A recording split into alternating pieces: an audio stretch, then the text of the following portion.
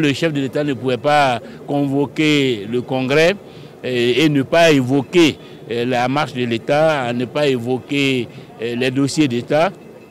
Il en a donc profité pour faire un bref bilan de l'action du gouvernement dans tous les domaines et, esquisser aussi les perspectives en ce qui concerne les chantiers nouveaux à ouvrir. Et je crois que le bilan, euh, nous, le connaissons tous. Dans ces grandes lignes, il ne, s'agissait qu'un rappel de ce qui a été fait en matière d'infrastructure, en matière d'électrification rurale, d'eau potable, de renforcement du système sanitaire et d'éducation.